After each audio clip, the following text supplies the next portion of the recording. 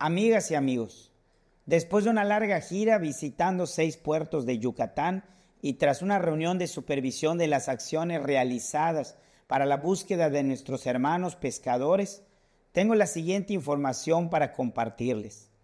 Las embarcaciones tenían más de 10 días en alta mar. La Marina realizó búsqueda los días miércoles y jueves. El miércoles, la Marina ubicó el Peyuxa 13 vía aérea que ya venía navegando y envió una embarcación para escoltarlos hasta el puerto de Progreso. Los tripulantes dieron la información de dónde podía estar el Peyuxa 12. El día jueves a las 9.57 de la mañana, la aeronave de la Marina ubicó la embarcación Peyuxa 12 a 116 millas de progreso.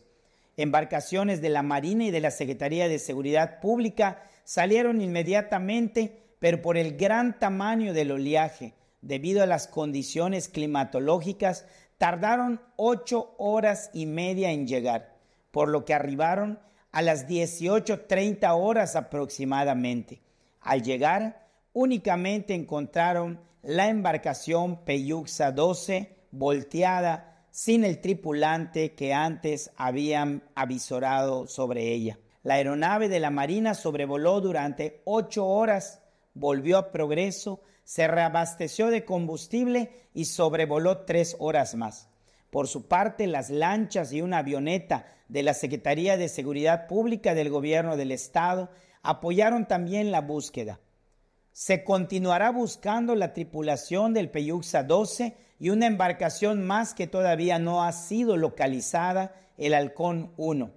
Nos informó el titular de la decimotercera zona naval de la Secretaría de Marina con base en Yucalpetén que estas tres embarcaciones no contaban con certificación de seguridad marítima la certificación marítima revisa estructura de la embarcación, equipos de seguridad y salvamento, equipos de navegación, equipos de comunicación, condiciones de la tripulación, sistemas de emergencia, estabilidad de la embarcación y documentación, entre otras cosas.